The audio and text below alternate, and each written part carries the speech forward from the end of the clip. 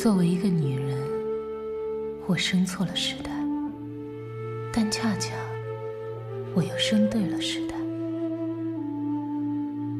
应该说，我人生的起点就在这个叫做归家院的地方。五岁那年，被家人卖到这里，跟随江南名妓徐佛学艺。父母的容貌早已模糊，对故乡的记忆只有离家时开满山路的九里香。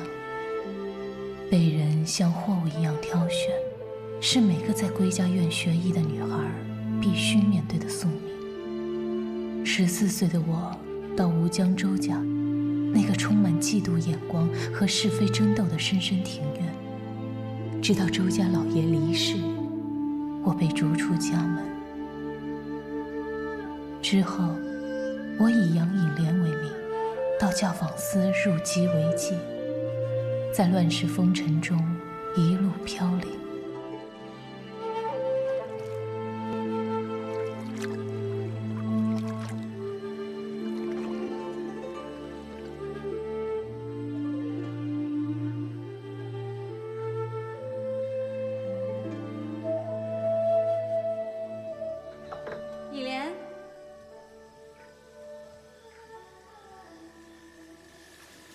不去了你？说真的，我还真不想去了。太好了，看我的独角戏。就这么抛个眼风过去，花榜状元就是我的。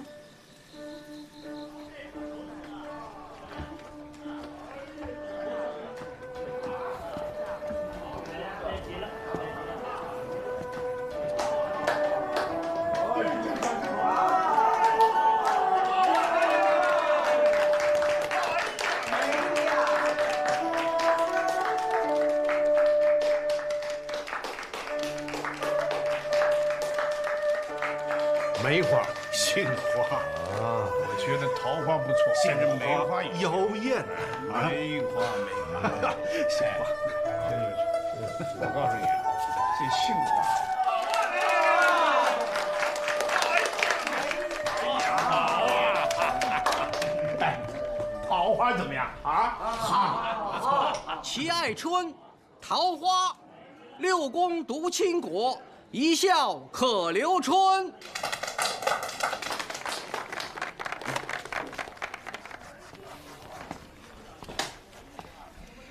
木真兄啊，我大老远从杭州跑过来，就是冲着你的面子。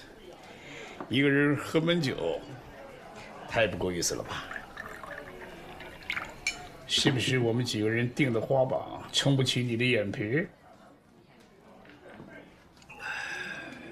我看你的官瘾又犯了，你还在惦记着官场那点劳作事儿吗？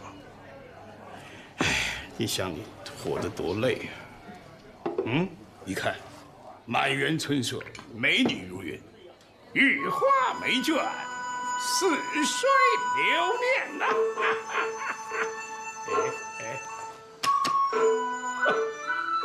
玉环在世啊！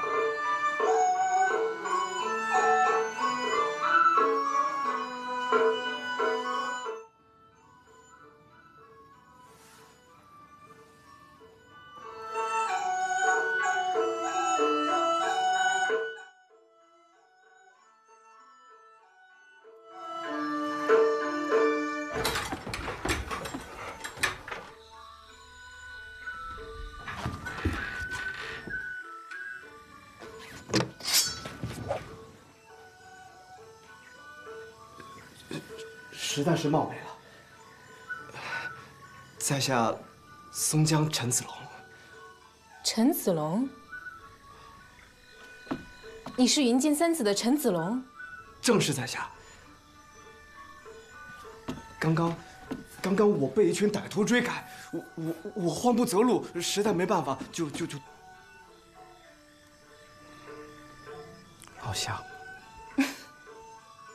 陈公子一副读书人的谦谦君子相，没想到会同街上的泼皮动手，还会与小女子调笑啊！我陈子龙何等人也，我是生平第一次来这种地方。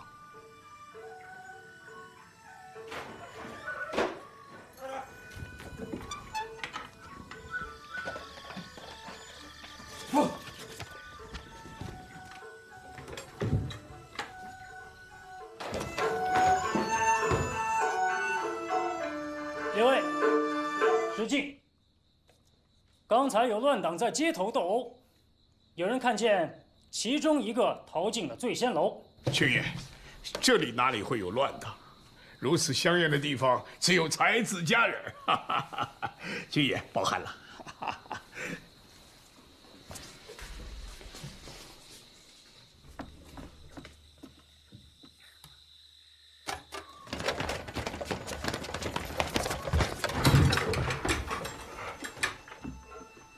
哟，这位军爷这么性急呀？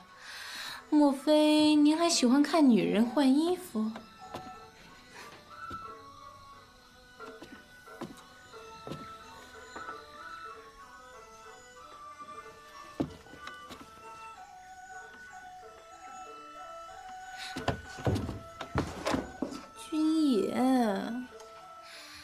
早就嫌这件衣服太素，想在上面画个梅花，可是就是缺个帮手。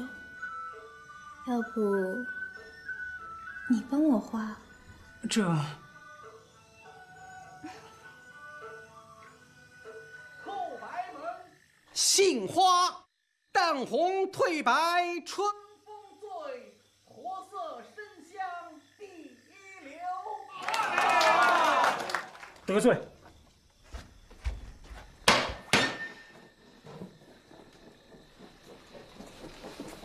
木真兄，天下之大，竟容不下我田某人。扫兴之极。木真兄，自己忙去跑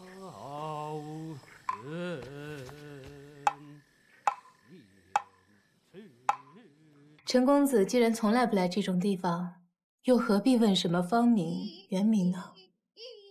对影闻声已可怜，玉池荷叶正甜甜。小姐的芳名可是出自《玉溪生》这两句诗啊。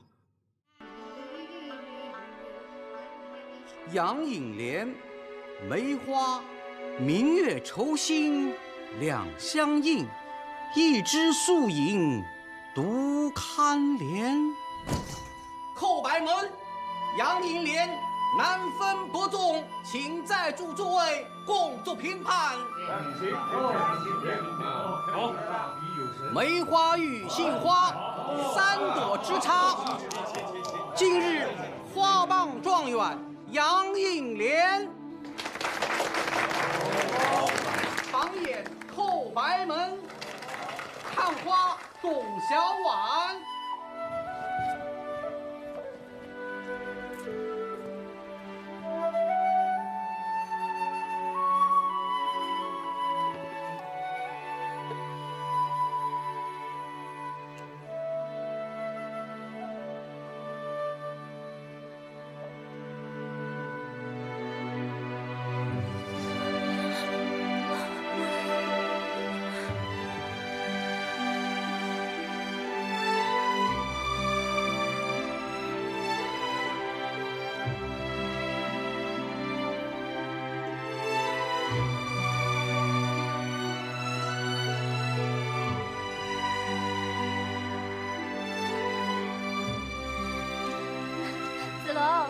找到一个人为我们的爱见证了，你猜是谁？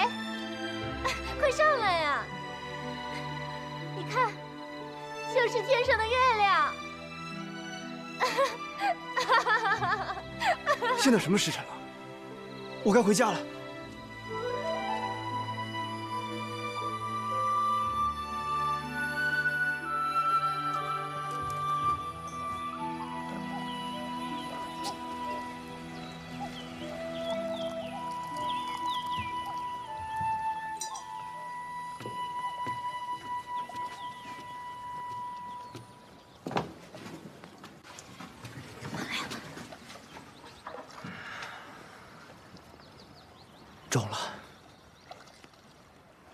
算是中了。读了这么多年的书，我终于可以有一番作为了。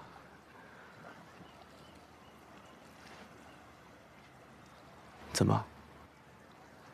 你不替我高兴吗？高兴啊！英莲，这五年来，我两度赴京赶考，其实陪你的时间并不多。我不在乎这个。先祝贺你鱼跃龙门，然后我要给你个惊喜。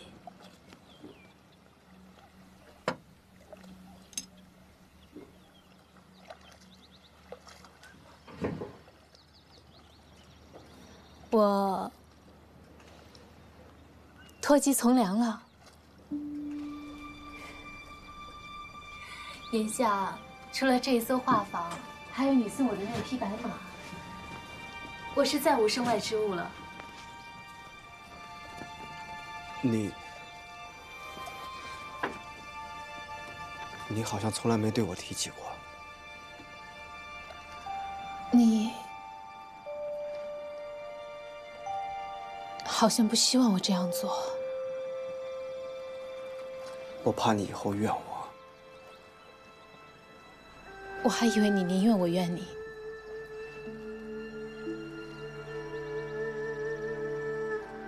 我马上要出任浙江绍兴府的司礼。那好啊。那恭喜你前程似锦啊！什么时候赴任？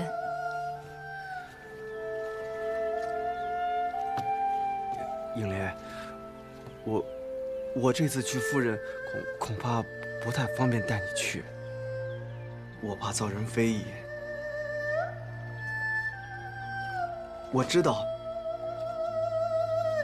我我我知道你能理解我，如今。南有李自成，北有达子兵，我大明世道动荡，所以我只能先抛下儿女私情，报国要紧啊！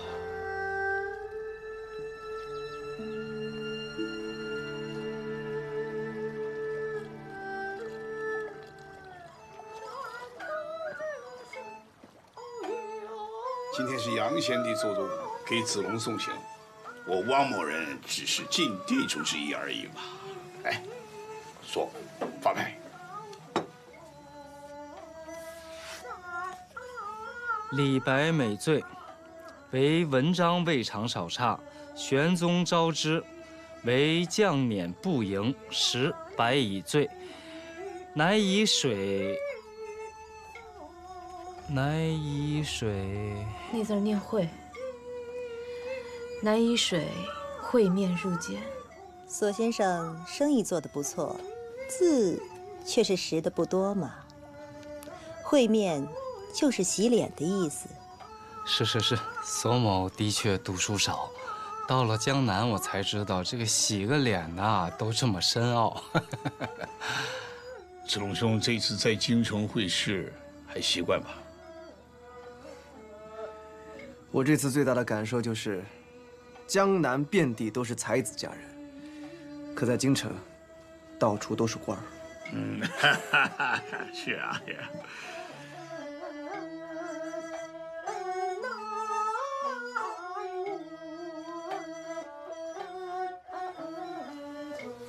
知道你不喜欢那些俗物，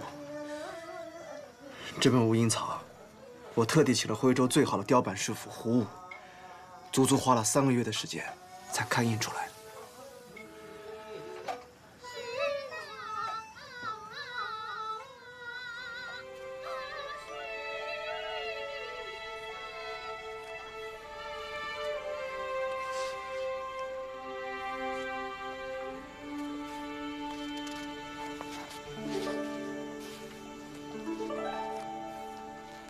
过，我已经不叫杨颖莲了。也许，我本来就不是一个顾影自怜的人。从现在起，我姓柳，名颖，字如是。这个好像是从辛稼轩那儿借来的典故吧？我见青山多妩媚，料青山见我，应如是，情与貌略相似。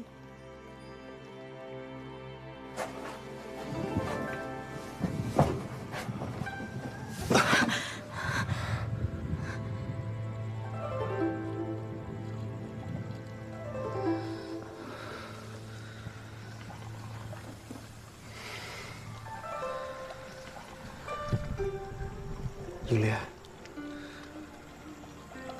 我能理解你现在的感受。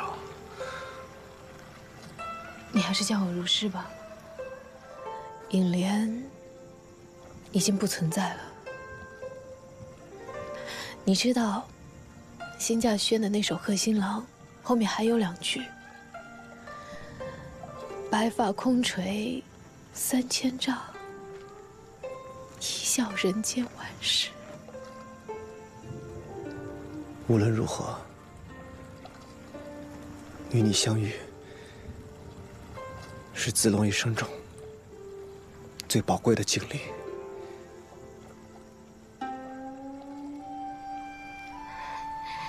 子龙，你能陪我明天最后去一次西湖吗？我们就去拜祭你崇拜的岳武穆，好不好？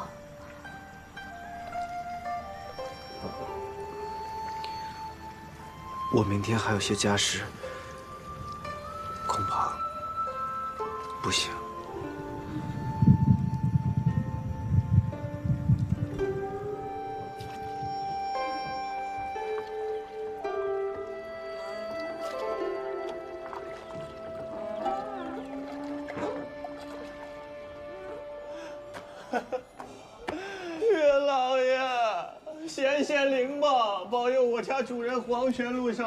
路走好，也多保佑一些天下英勇之士吧。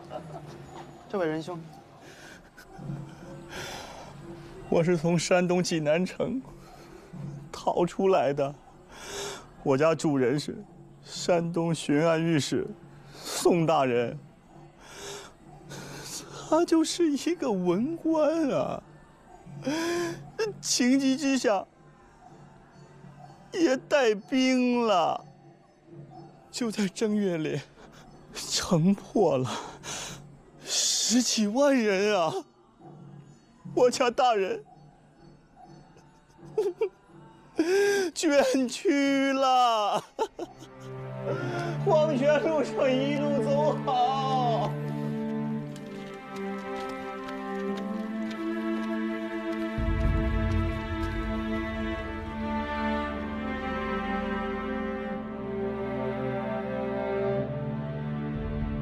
当年公馆莲湖记，此夜苍茫皆戍楼。海内如今传战斗，田横木下亦堪愁啊！欲起其家者，先修其身；欲修其身者，先正其心；欲正其心者，先诚其意。今天非常荣幸，请到了东南文宗余善钱穆斋先生来书院讲授杜诗经解。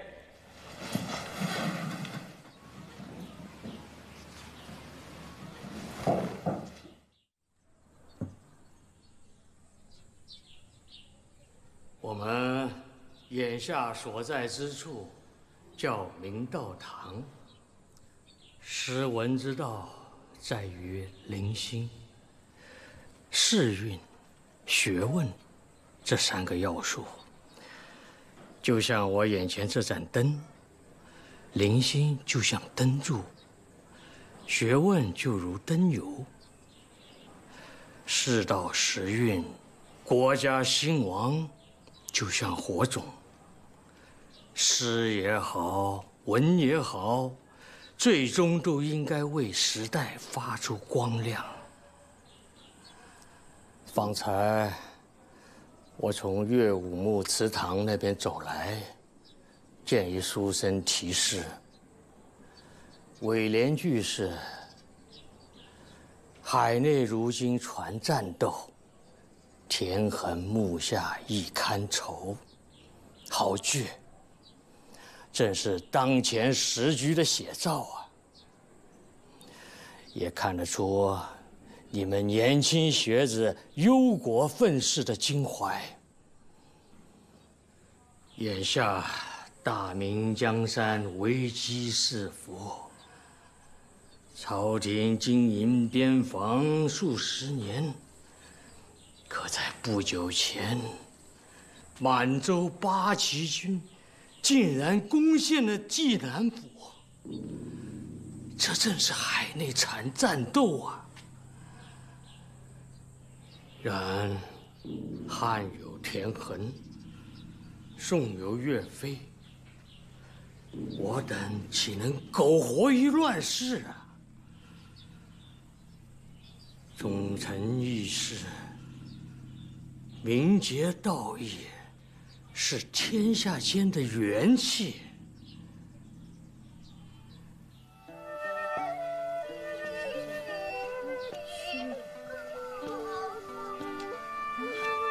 眼神，眼神，你的眼神和手是要统一的，一起出去，啊，要一起，知道吗？要柔，要这样，啊。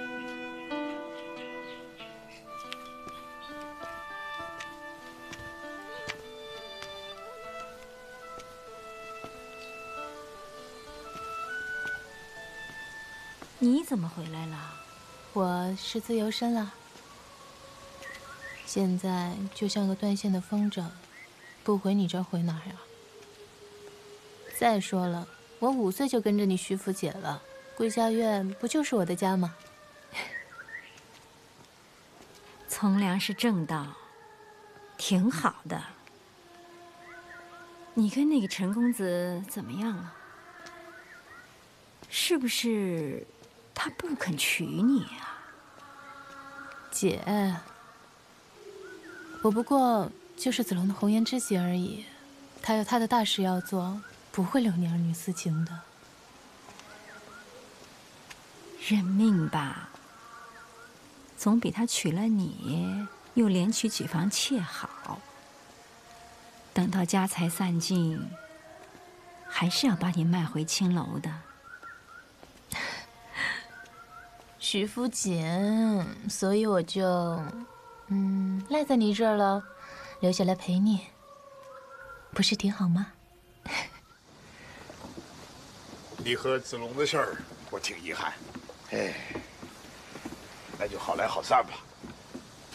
这也没有谁对谁错。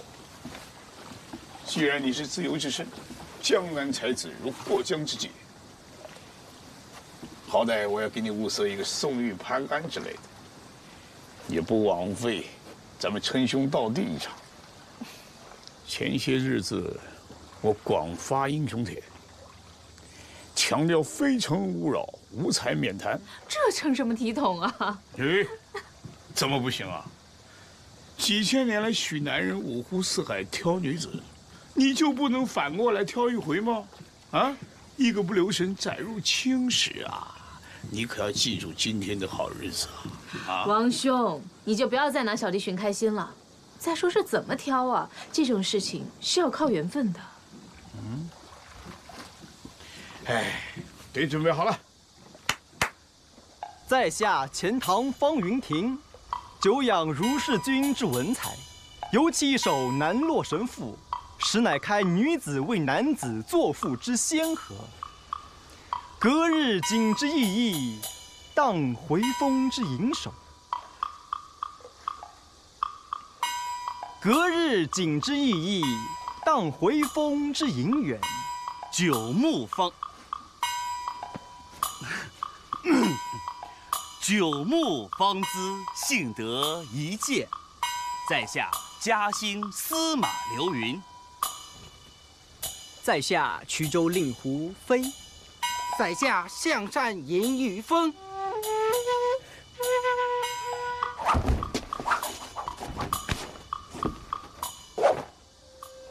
谢娘把客，谢娘假手看看，谢娘看相公，谢娘几岁了呀？年方一十三。怎么，一个都没看中？这些都是杭州城里的青年才俊呐。要说按学问挑，除非虞山钱穆斋那样的，还差不多。哦，可算把你等来了，几日不见，还怪有些想念的呢。杨姑娘，哦，柳姑娘，这回来可得多住几日啊！我还等着拜读你写的新诗呢，一定得多写两首。姐姐客气了。我倒是听说姐姐托人从成都觅到了一些有年头的上好锦签啊，连带着姐姐的莫古牡丹画的是越来越精妙了。我倒是想趁此机会同姐姐切磋一下画艺呢。你的消息还蛮灵通的嘛，姐姐就那几张好纸，连带着你眼馋的方家顶烟旧墨，到时候一并给你一些。真的？哎，不巧家里来了客人，我去招呼一下，去去就回。不敢麻烦姐姐。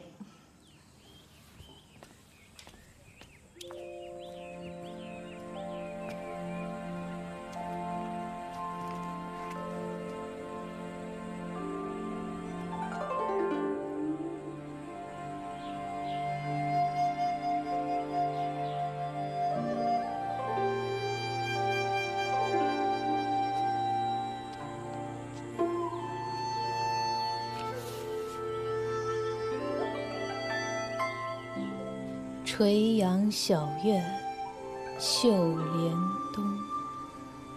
莺歌残枝，蝶衬风。最是西岭寒食路，桃花得气美人中。桃花得气美人中，好诗啊！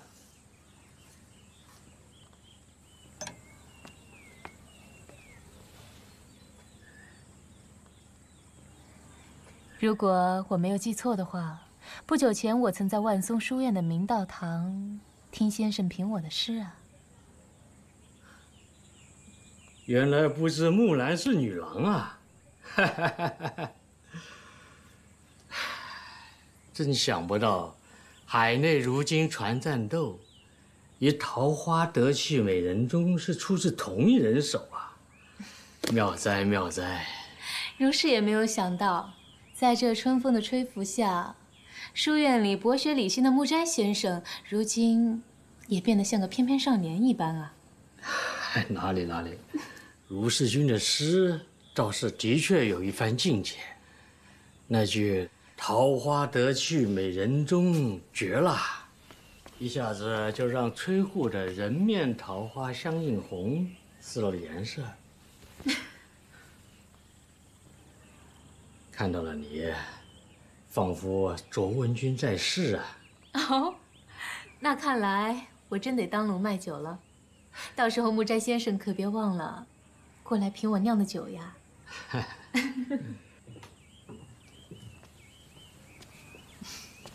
怎么，如此良辰美景，木斋先生就没有诗信贺一首？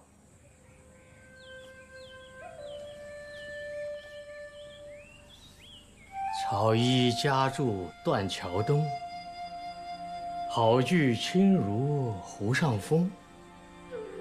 近日西林夸柳影，桃花得气美人中。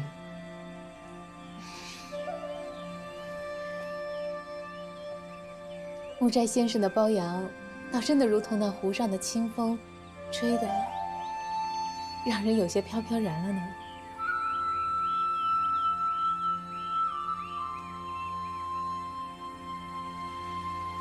来来来来，大家都多吃一点吧。嗯，也许这是我们最后一次欣赏小婉的厨艺了。姐姐们以后要常来看我，不然小婉的厨艺谁来欣赏呀？就是，多便宜那茂公子了。这要是平常女人啊，这一刻一定是最灿烂的时候。可咱们却得黑灯瞎火的度过。就好像让最美丽的花开在黑暗里。我们姐妹托举从良嫁人，哪个不是夜半敲醒？我又怎么能指望明媒正娶、大吹大唱？是啊，到这时候才晓得做一个寻常女子有多幸福。浮生如梦啊！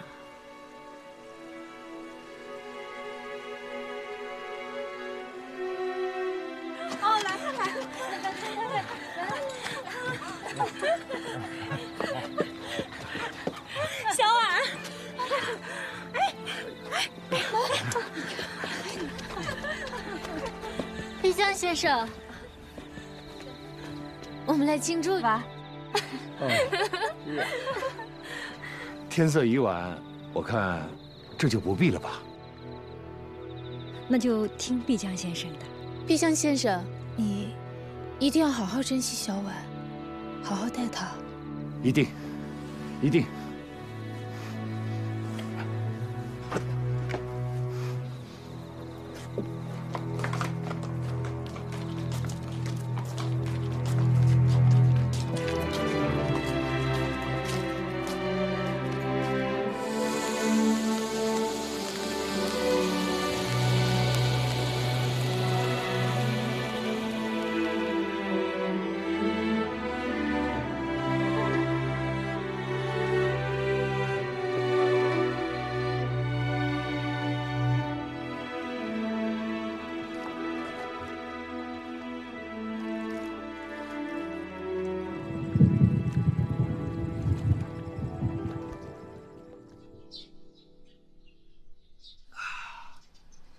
商量了，决定上折子，推举玉神入主内阁。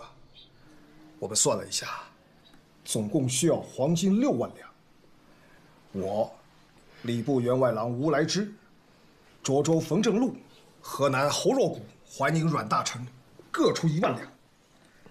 呃，如果木斋兄能够加盟的话，那倒是啊，荒唐！你们难道不记得当年周延儒计算于我，害我顶了个候补阁老的虚名，被迫退隐山林？二十年大好时光，用于饮酒谈诗，你们真以为我甘心如此？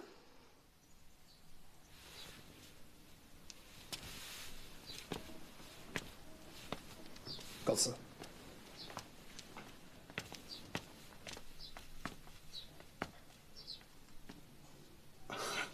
先生，何必动气呢？咱们还是煮酒论诗吧，否则辜负了这雪景啊！老爷，有位青年书生求见。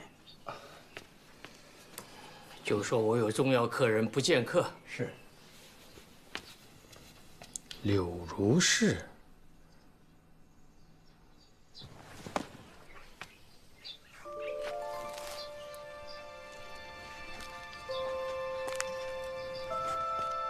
如使君有失远迎，木斋兄，小弟特来看你。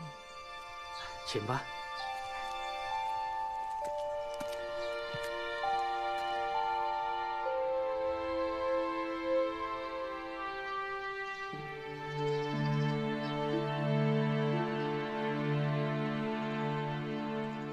如是，虞山有座破山寺，唐人留下一句诗。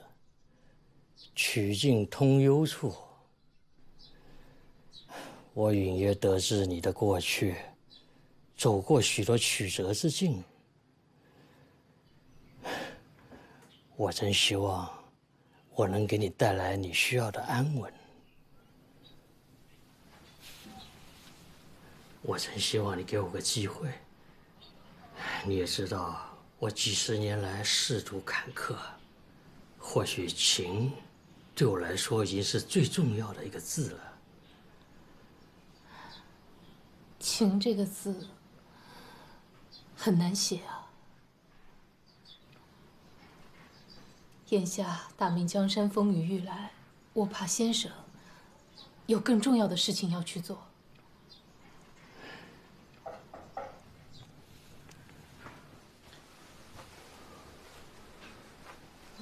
母亲让我过来问，几时过去用膳？你们先吃，不用等我了。是。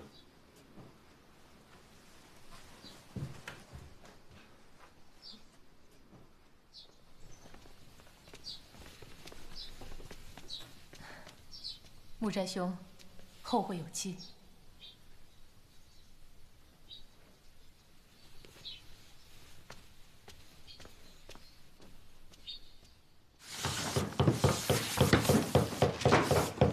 最近吉谷阁挺忙的。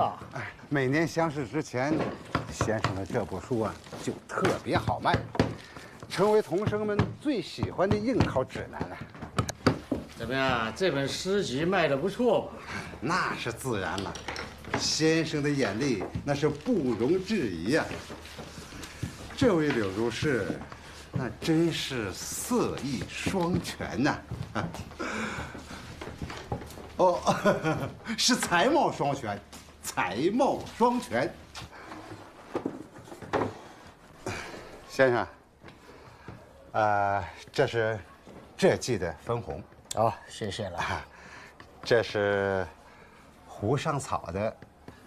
啊，卢世军的事务就不用经我手了吧？啊，哈哈哈哈哈！先生。这次是修葺半野堂，不，新建一间。哦，叫我文氏。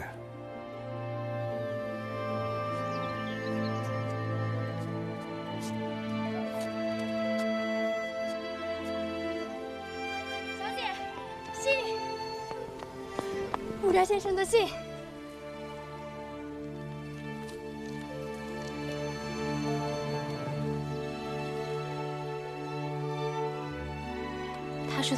一句话。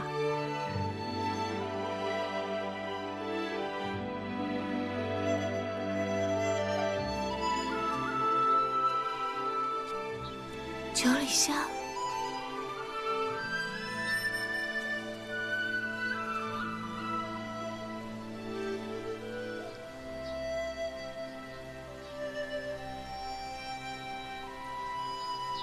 我闻是。我答应送你一句话的，如是我闻。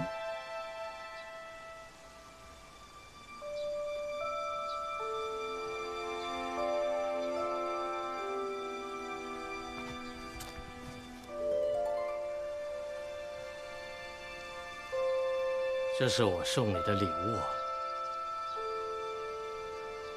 如露亦如电。应作如是观。如是君，不知道我有没有荣幸邀请你参加今晚的韩熙文宴？没有外人，除了你我，就只有我两个好朋友。但半江月影，行乐须及春。我歌月徘徊。我舞影零乱，喝酒喝酒，没酒了，斟酒。何先生结识这么些年，还是第一次看到像今晚这样落拓不羁的场面。卢师兄啊，来与我抚琴同乐。这。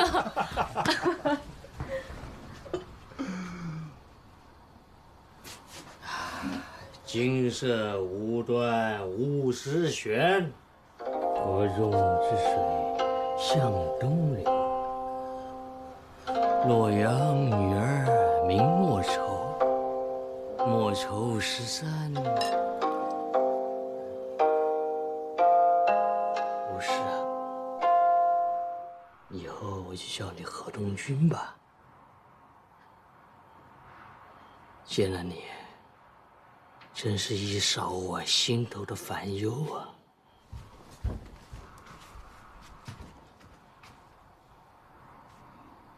木斋兄我给你浇点冷水吧。闯逆已经在围攻洛阳大明风雨飘摇江山倾覆何来莫愁的洛阳女儿？木斋作为一代文宗你是我们的榜样人物忘了报国治天下的抱负，那是失志；沉迷于儿女情长，那也是一种自私。说重些，那就是读书人失德呀。河东君对于我来说，与江山社稷同等重要。再说，我满腹经纶，依然虚住了大半生的光阴。李周兄，你什么时候看过我有经世治国的机会啊？啊？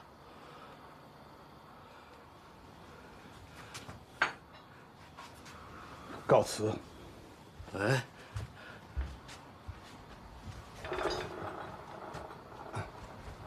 先生，我也告辞了。娘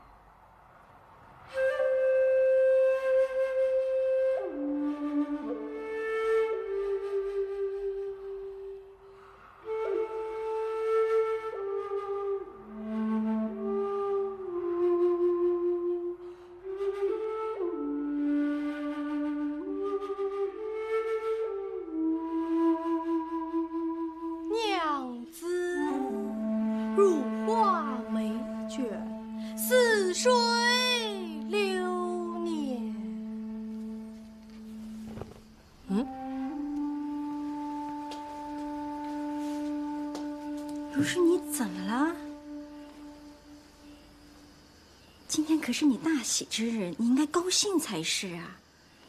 我不甘心，我不甘心在夜里就这么偷偷摸摸的嫁了。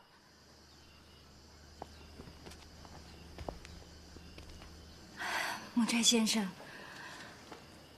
如是，如是他今天晚上的事就缓一缓吧。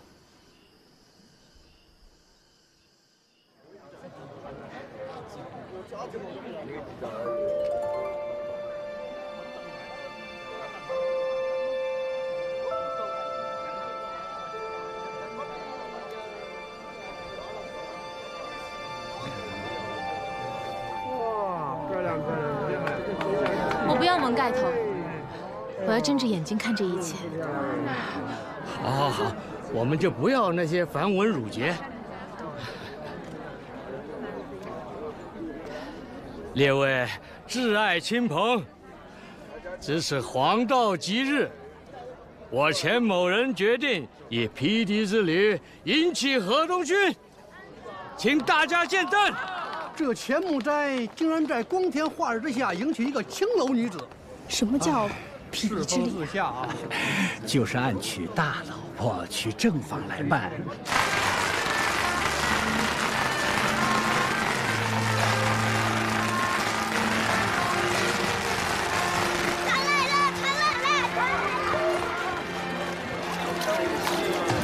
真不要脸！哎呦，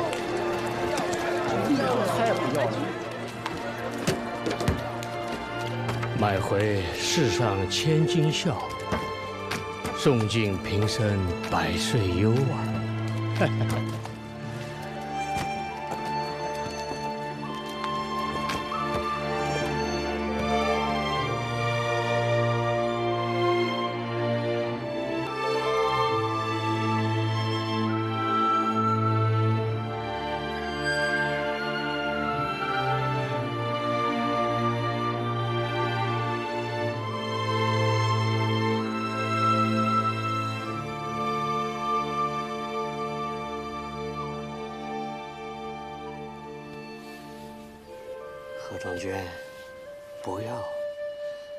这些东西不用你来收拾。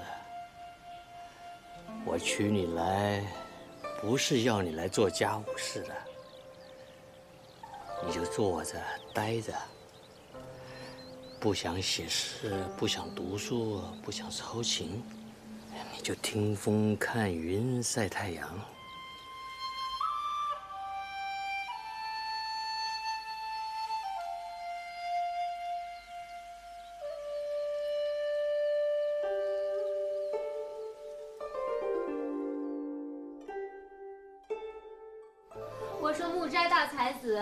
早上的诗你什么时候喝？是不是江郎才尽了？哎呀，你看我一忙就给忘了。忙什么呢？都归隐山林了，还日理万机的，什么事儿比喝我的诗还重要？哎，你还给我。哎，来来看。哎，你看你。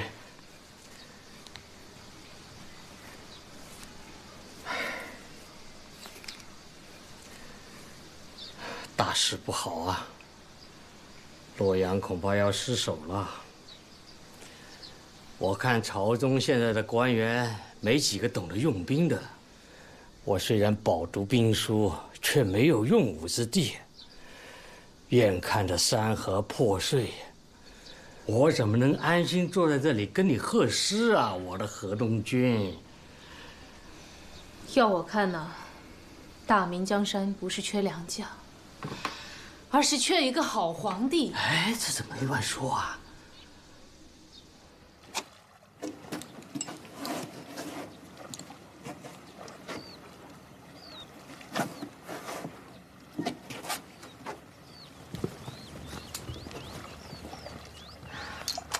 来，喝点茶。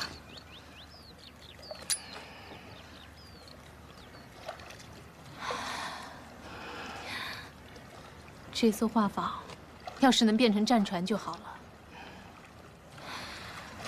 想当年，韩世忠在京口长江的江面上指挥战船，梁红玉身披红袍，轻执斧鼓，使今人终不能渡，真是热血涌动啊！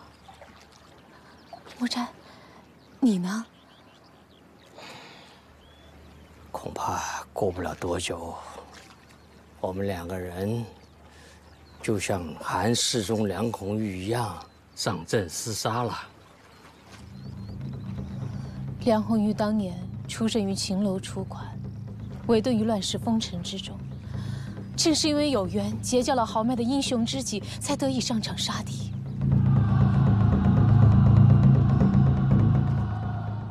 你，你能成全如是吗？来来来，喝喝喝，干掉这一杯。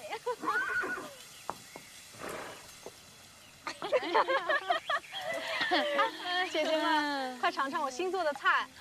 这个呀，是我做的虎皮肉。你那有名的董堂呢？哎，对，我的董堂呢？来了。哟，这可有点铺张啊！你那婚礼不是更铺张吗？我那是跟你学，争口气。我的婚礼成了金陵最盛大的婚礼。让朱国弼铺了十里红地毯，百人仪仗队，五千护卫兵，十万人观看，花费白银两万两。我要的就是这份场面。白门姐真是豪气义气之人。来，喝喝。本王请夫人速速回府。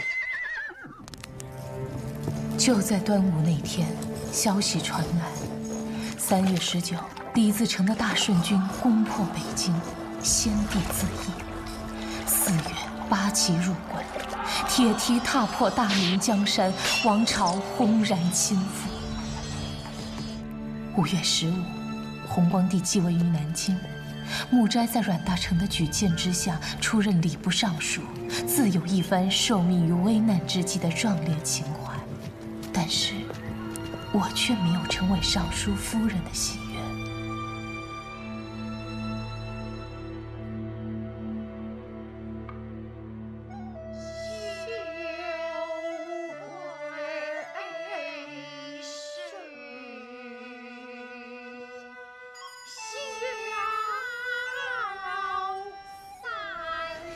我给圣上上了个折子，到时今天只谈风月。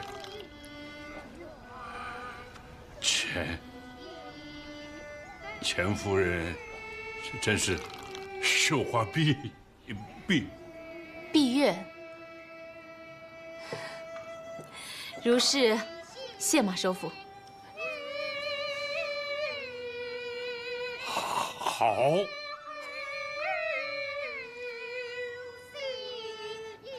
早听说河东夫人才艺冠绝一时，今日是否有幸邀夫人唱上一曲，以尽此良宵之会呀？如此，有辱倾听了。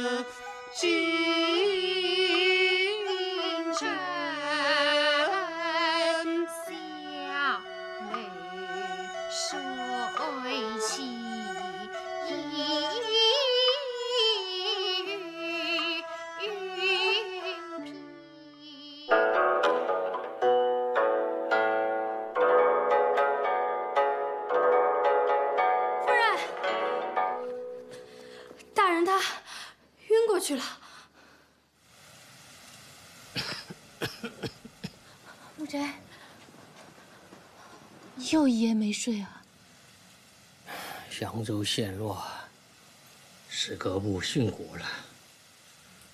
什么？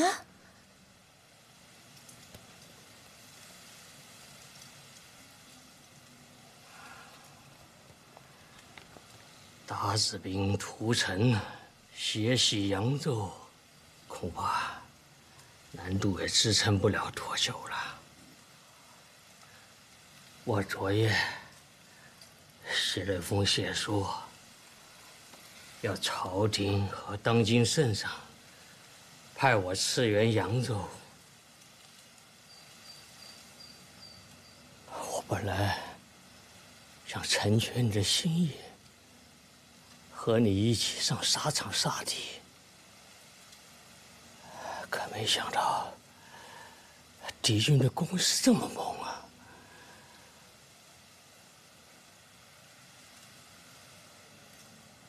现在还不迟。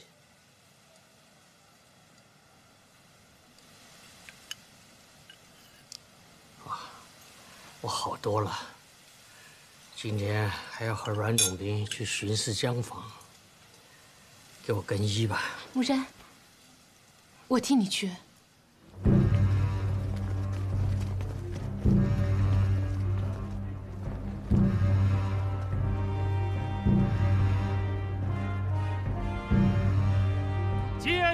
囚虏在扬州烧杀抢掠，整整十日，血流成河，很快就要逼近长江了。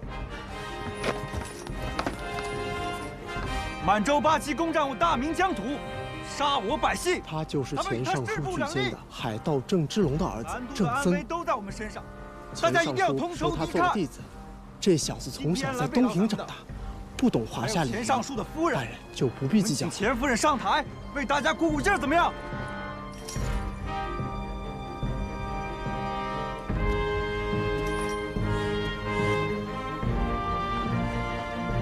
水师兄弟们，钱大人为南明江山安危日益操劳，已经病倒了。今天。我便斗胆替他来看你们，原本我是不应该站在这儿说话的。既然郑将军如此抬爱，我便当仁不让了。今天我不想代表尚书大人，而是要代表南都城所有的姐妹们，跟兄弟们说一声：将士们，拜托了。没人爱英雄，我们会永远跟英雄在一起，生死不离。为全城百姓而战，为父母姐妹而战，保卫南都！保卫南都！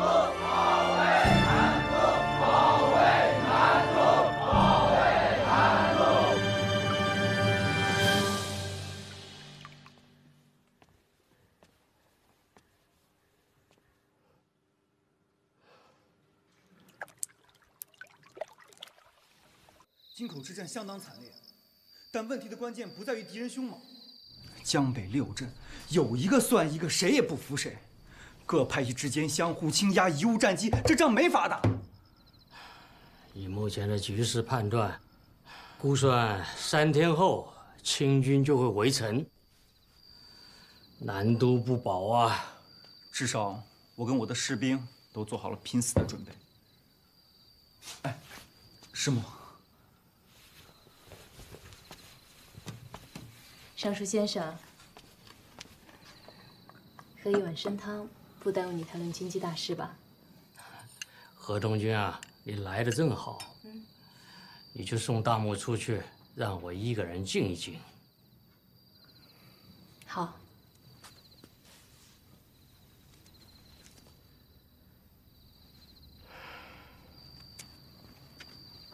大木啊，你是先生最喜欢的学生。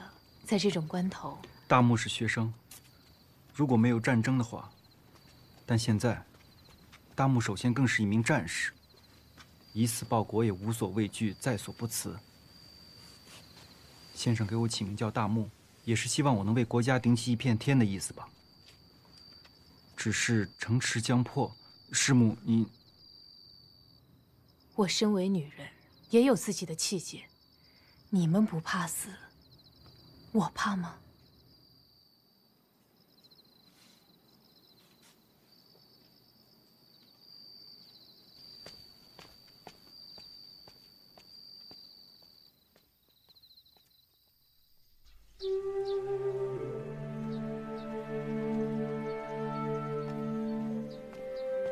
老爷，客人到了。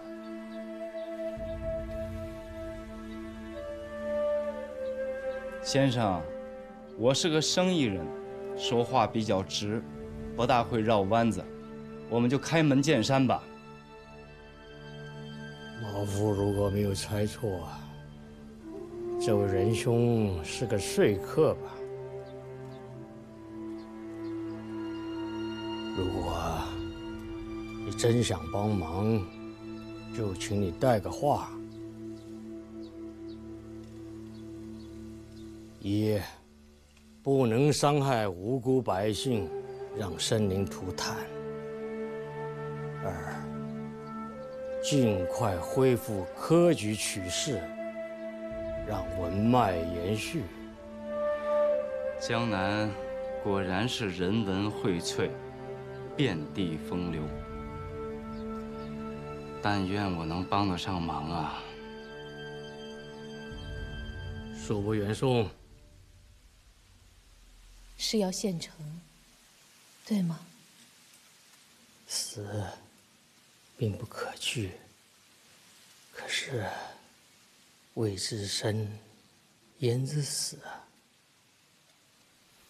史可法舍身取义，固然保住了士大夫的气节，可那屠城中死去的几十万老百姓。又有何辜啊？要活下去，带着更多的人活下去更重要。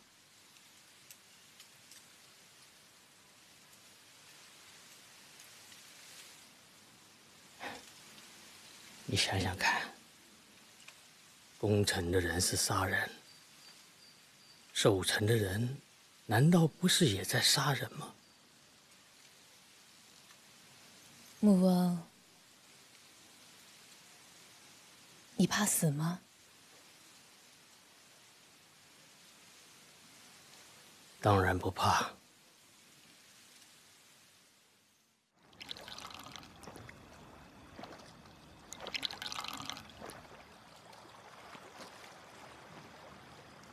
何同军啊，我当然记得今天是芒种，是祭花神的日子啊。可现在万般的忙乱，哪来泛舟的心情啊？就要献城了，已经做了决定，你还忙什么？芒种一过，种花皆谢。能够在这样的纷乱之中，泛舟湖上赏酒敬花神，岂不算赏心乐事？记得我们刚认识的时候，你问我爱你什么？我当时开玩笑的说，我喜欢你的白发。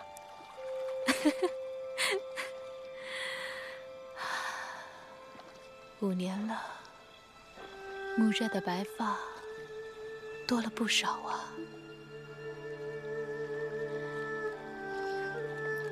这一杯就敬木斋的白发。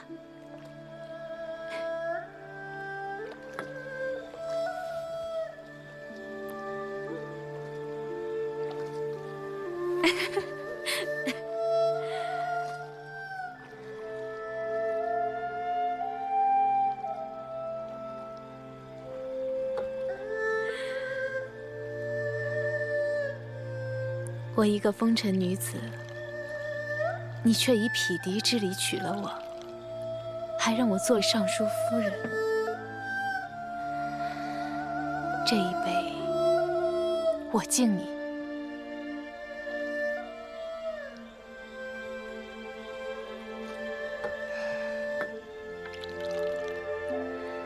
这一杯，敬花神吧。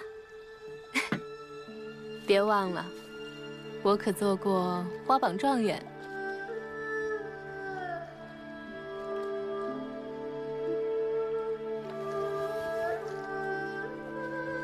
木斋，还同往年一样吧？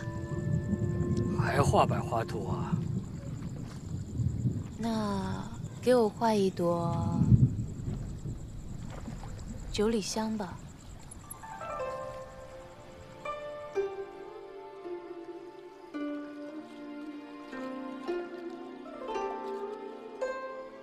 你我相差三十六年出生，却能够同年同月同日死，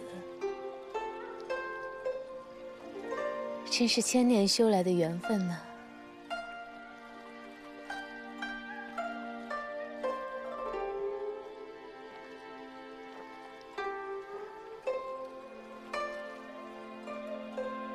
我能想象，这朵花，也许是城破以后。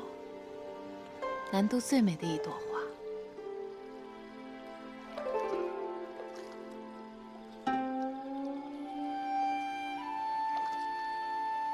如果我是一朵花，美过、炫目过、灿烂过，能够让时间在花开荼蘼的那一瞬间停止，也不错，对吧？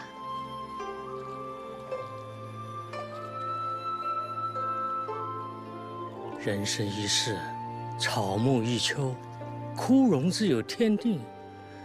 我们为什么让时间停顿？花开一年又一年，不更好吗？难道你想苟活？你献城是为了百姓，殉国是为了自己的名声，只有这样才完美啊！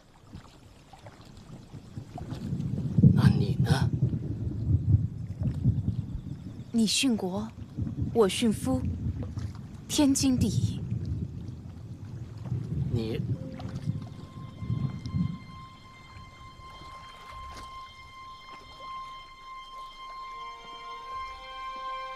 不是说你不怕死吗？但我不想死。你也不要死啊。你想没想过献城之后你就要背上千古的骂名？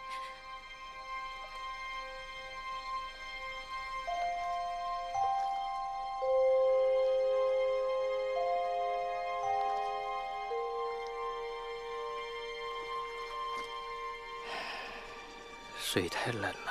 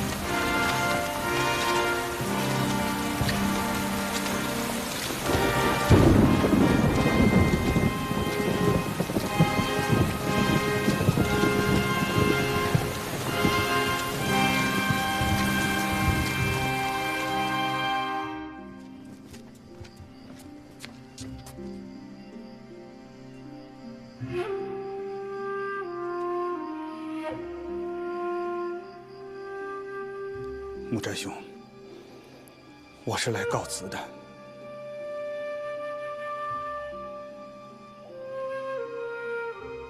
短短几天，许多事情劈头盖脸的砸过来，我也不知道谁的选择是对的。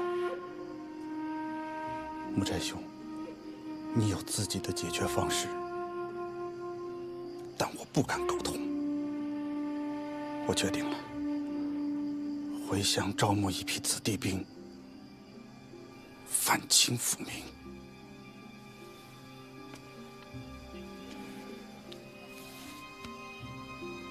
木斋兄，你还记得当年河东军的那首诗吗？海内如锦船战斗，田横木下已堪愁。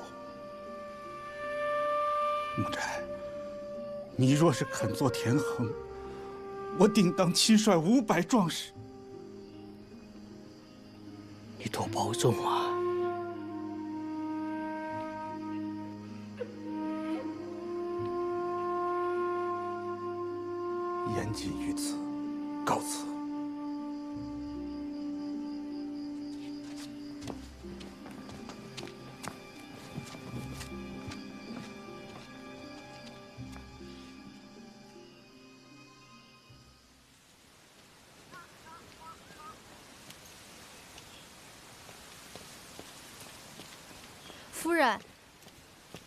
堂叔来人了，钱大人要去北京。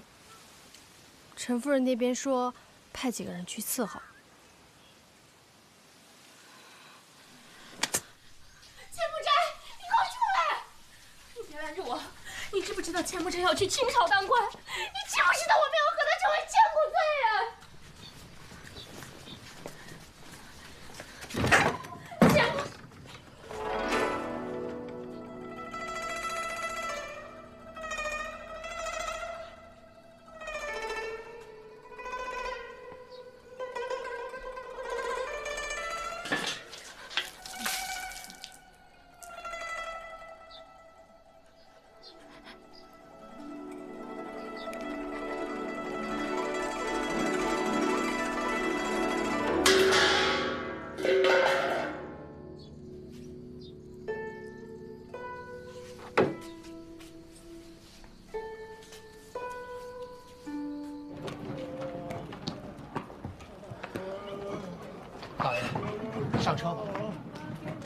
再不抓紧赶路，天黑到不了驿站。好吧。哎，你们干什么？你们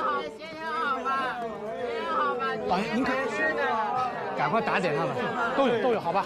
来，别抢，别抢，别抢，别抢，别抢，别抢，别抢，都有，上我这儿来。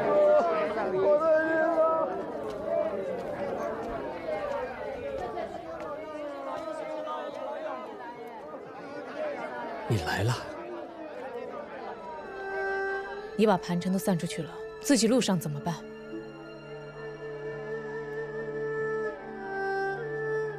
你看看这些难民，真是作孽！何同军，我做的决定真的有我的理由。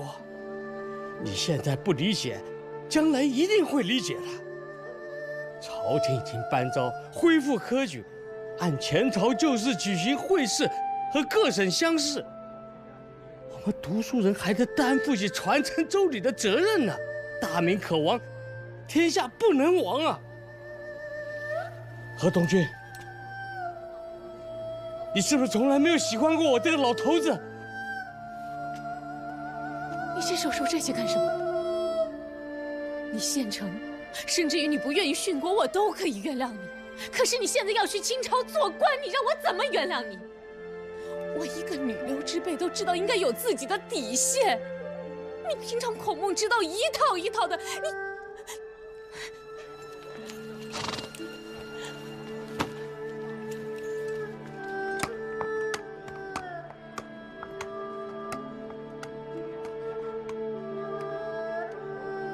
如是。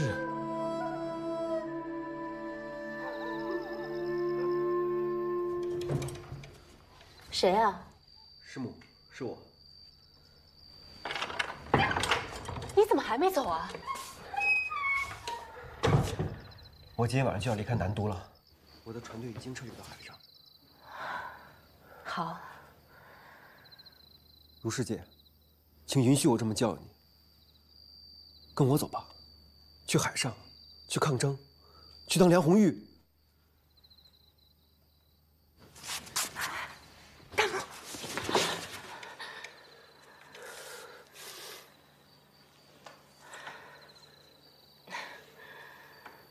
大木，不不管怎么样，我都要谢谢你。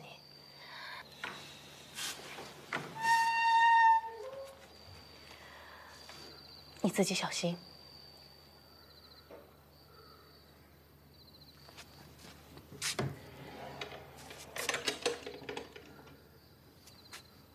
如师姐，如果你真的想当梁红玉，今天晚上是最后的机会。我会在后花园门外的巷子口等到子时。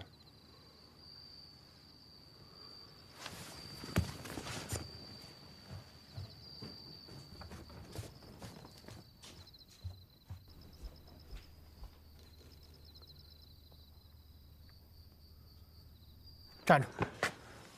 干什么去？你，哎，你这里就一点也不觉得愧对你老师啊？啊！大木身正影直，问心无愧。哈哈哈哈！我呸！半夜三更跟你的师母私奔，还身正影直，亏你还敢用大木这个名字自称啊！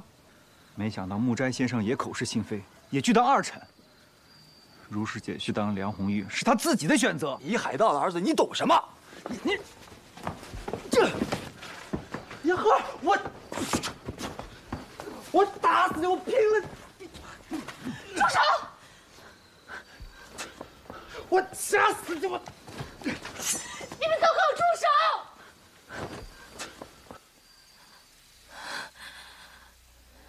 你们都别闹了。我哪儿也不去。那个街角是一个人生的街角，转过去，或许路就不一样了。最终，我还是回到了自己的宿命里。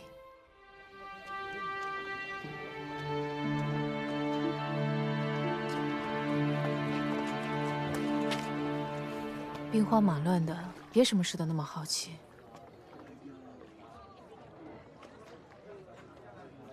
他们杀了叫陈子龙的大英雄。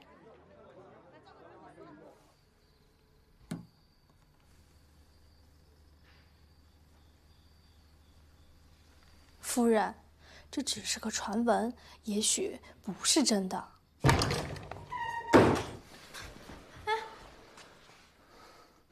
夫人，现在是大清天下了，你还这么祭奠前朝的官员，会给咱们全家招来杀身之祸的，你知道吗？哎，少爷，少爷，不可以的，少爷。再说，我父亲刚走，你就跟他的学生不清不白的，你还给你的老情人设灵堂，我。少爷，少爷，老爷走时留下了手谕，说遇到事情一切以夫人的意愿办。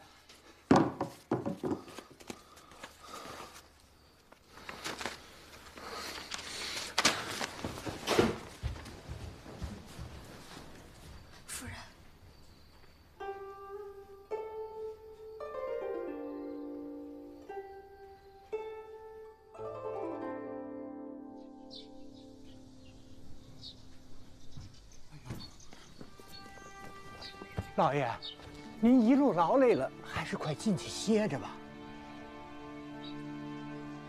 南柯一梦啊！父亲刚一北上，河东夫人居然给陈子龙设灵堂，还与郑家那没良心的、您那不孝的学生私奔了。我不听这些！我破君王，士大夫尚不能全节，你又何必苛责河东夫人？我都当了二臣了，他说些什么，我都能理解啊。下去吧。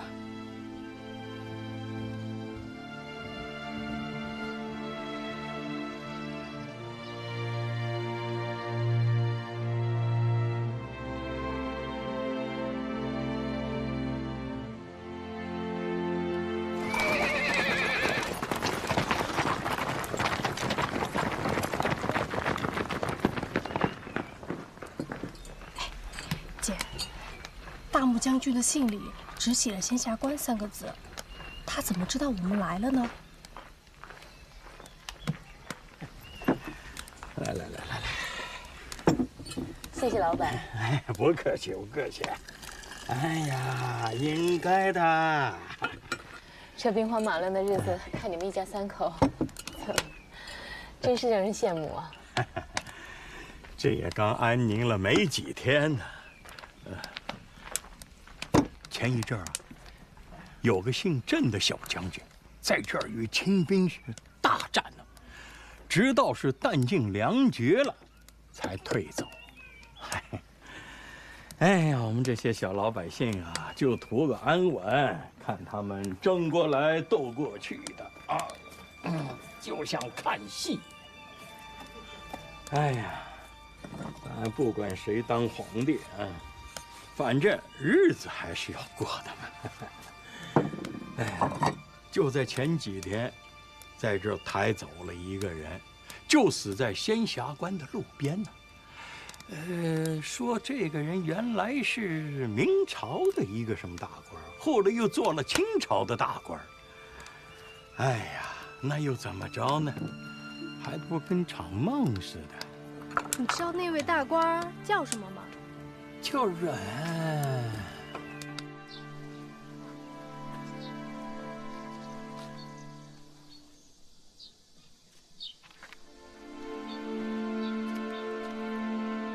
老爷，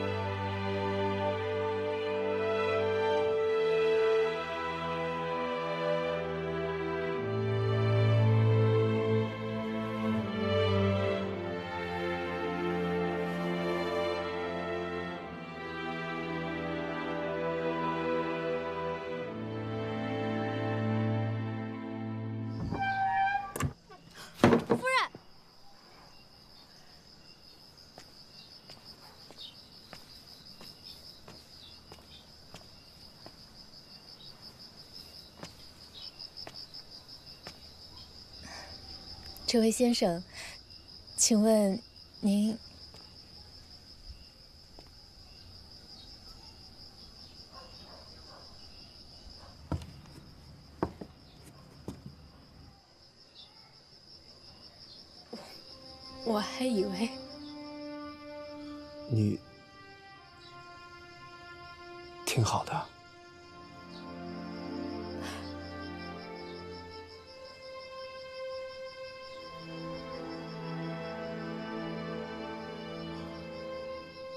是来找木斋先生的。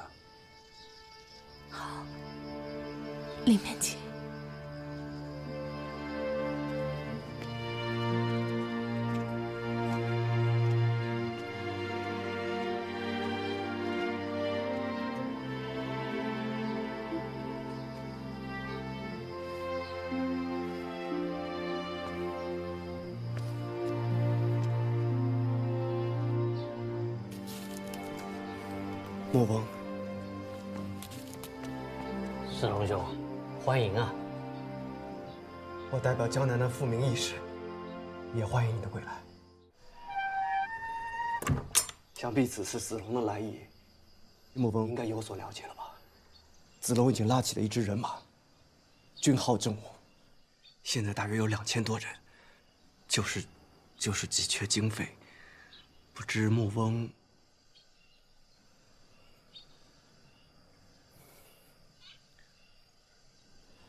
子龙啊，你来找我，我很欣慰。钱的事情，我一定会尽力。不过要容我踌躇几天。幸好啊，我还有点值钱的书呢。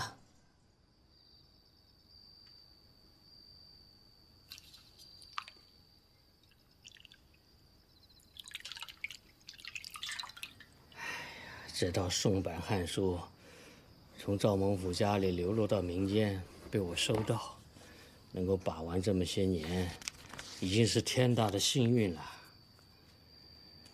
我知道，你都是为了我。不，我是为了我自己。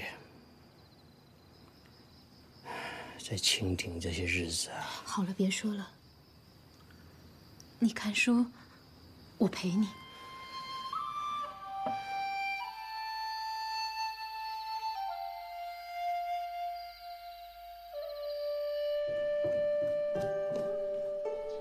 老爷，哎，夫人怎么样了？还是吐，不过夫人好像不是害病。你们干什么？哎哎哎！你们干什么？凭什么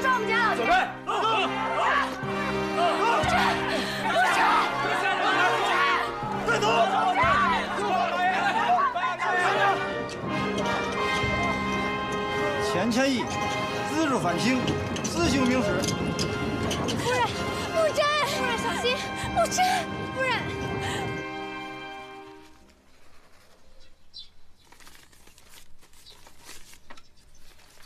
有劳了。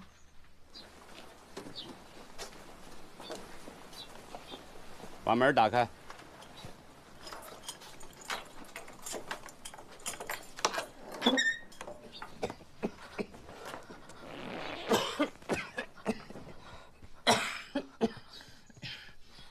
贺同学，我生怕见不着你了，让你担惊受怕了。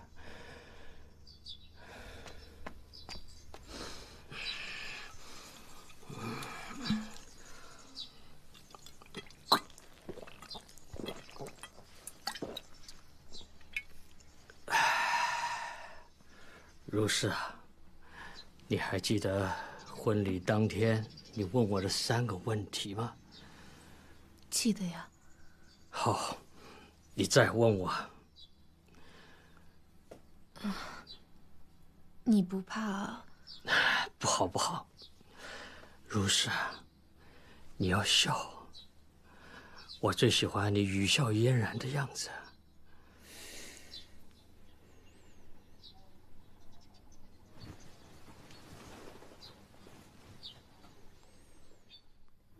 你不怕？我出身青楼，辱没门楣。不怕。那你不怕庭院深深，家族是非？不怕。你不怕世道险恶，人言可畏？我不怕。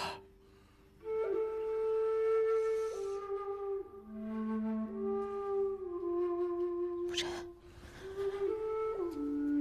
你可千万不能有决绝之念啊！今生今世。能够与你结缘，死而无憾，这是我的最终了，恐怕出不去了。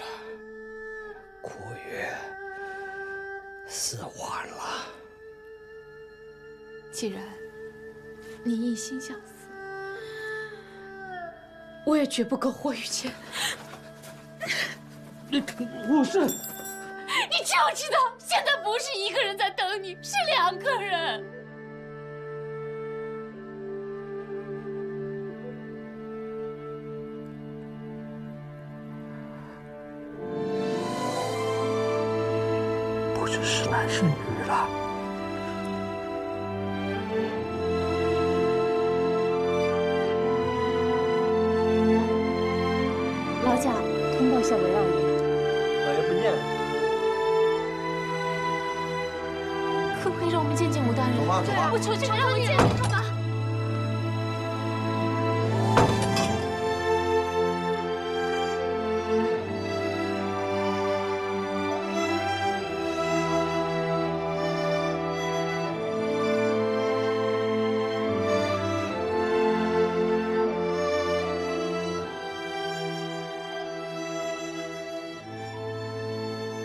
王兄，我把莫文给我的，现在跟官府还能说得上话的旧同僚名单挨个的走了一遍，没有人敢碰这反清的案子。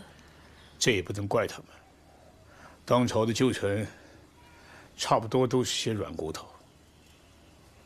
你别急，以我的经验，当下能够救木斋的，只有一个。谁？看来情况你比我清楚。那是，你也不看老弟的本行是做什么的。和你在一起这么久，既然不知道你是满人的探子，嗯，要知道的话，也不肯跟你做生意。这通敌的罪名，我可不敢当啊！哈哈哈哈！怕什么？你现在大声的喊出来都没关系。这方圆百丈没有外人。再说这山河已经是我们大清的了。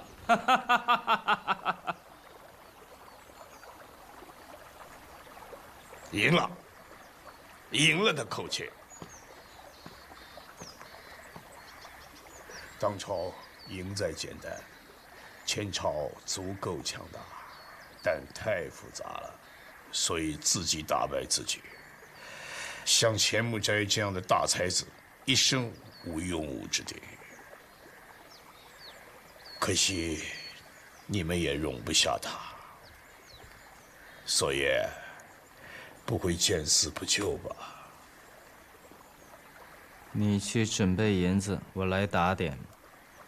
另外，还需一人出手相援，方能有万全把握。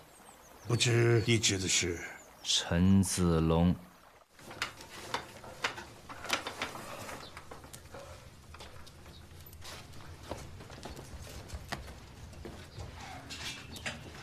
子龙兄。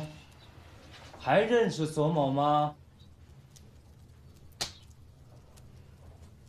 左，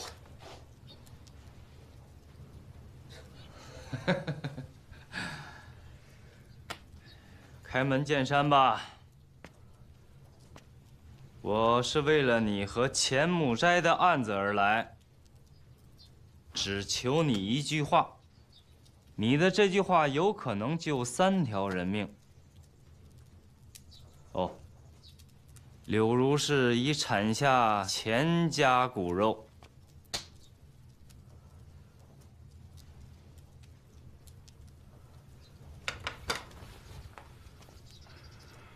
一人做事一人当，这件事情和钱木斋没有关系。大义如山呐！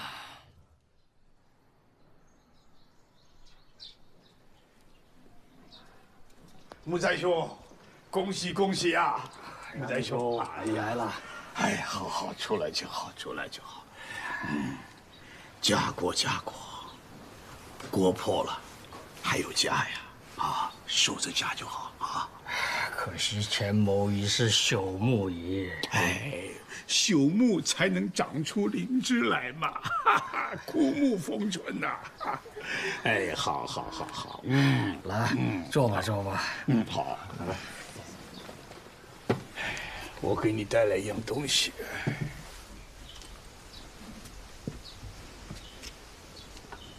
看看吧。朝代更替，犹如四季之轮回，荣枯之天道。子龙居庙堂之高，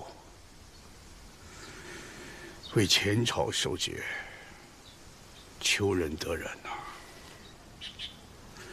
木斋兄出江湖之远，传天下之道，路还很漫长。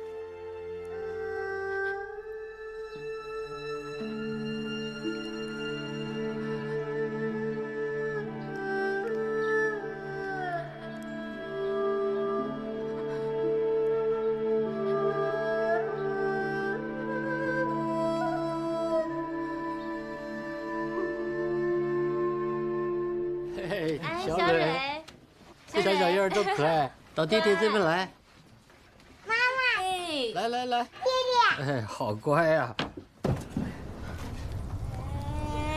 木真，你带着小李先走。木真，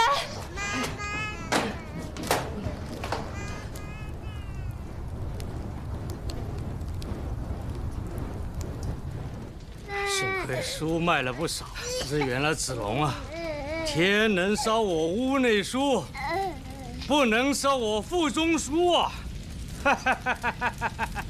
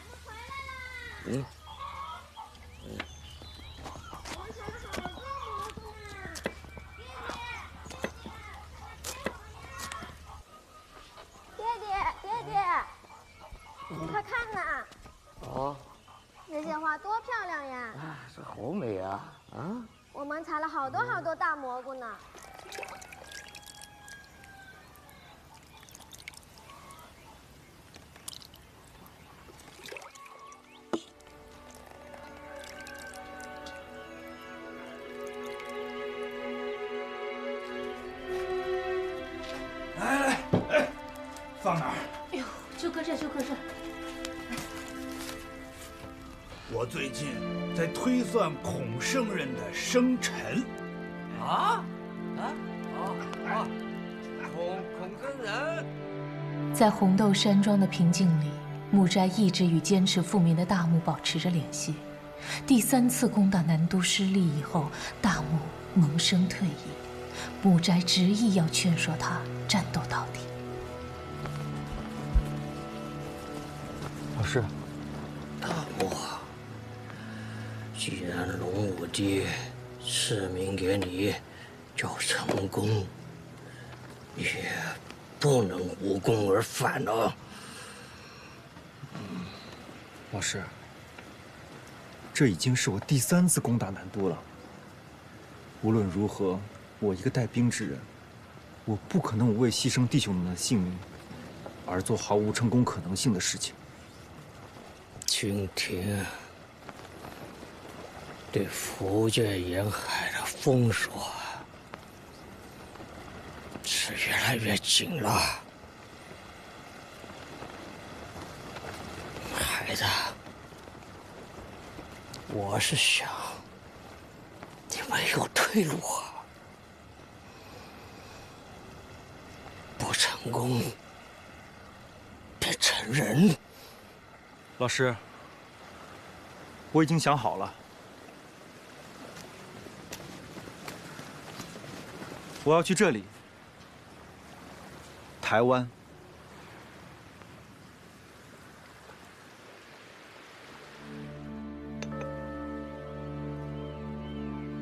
今天是你的八十大寿，黎州先生和子敬说要来帮你祝寿。我给回绝了。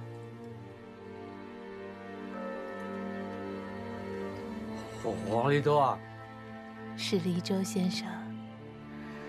我就想啊，就我们两个，太太平平、定定心心的，说说闲话。一会儿啊，我去帮你煮一碗新鲜的香蕈面，味道鲜的呀。保准让你的眉毛胡子都掉掉。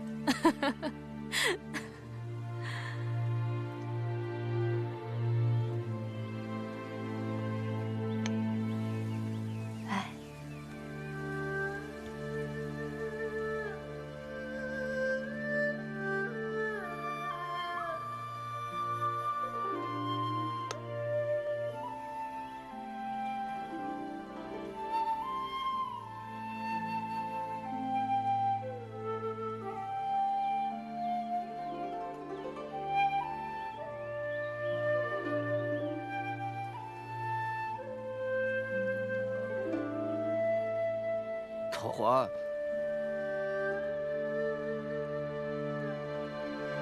美美人。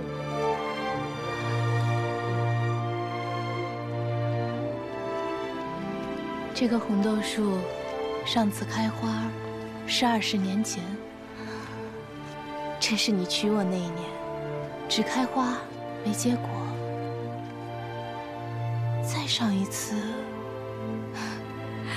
只怕活着的人都没见过了。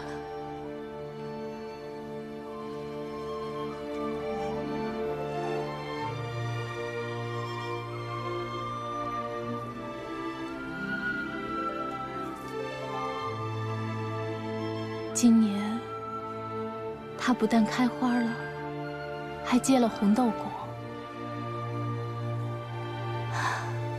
这颗红豆。就做你八十大寿的贺礼吧。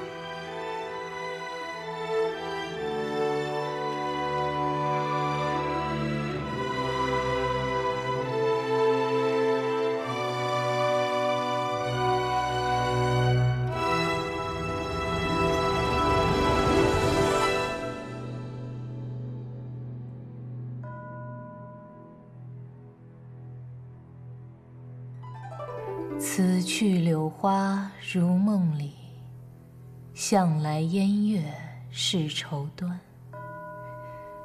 自从赤条条的被抛入红尘，经历了那么多人，那么多事，那么多岔路口，那么多无奈，我才明白，我们永远无法理解发生在我们生命当中的所有事。原来，我用尽一生的时间，只为擦净六根所沾染的尘灰，只为心无挂碍，重返宁静。